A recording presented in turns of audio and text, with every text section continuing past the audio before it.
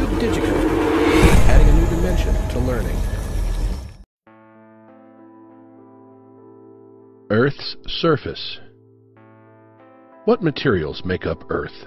The Earth's interior. Earth is not a solid ball of rock. It has three distinct layers. The crust is the outer layer, and it is made up of rock. Earth's crust is very thin compared to the other layer. If Earth were the size of an egg, the crust would be thinner than the egg's shell. We live on the Earth's crust, the mantle.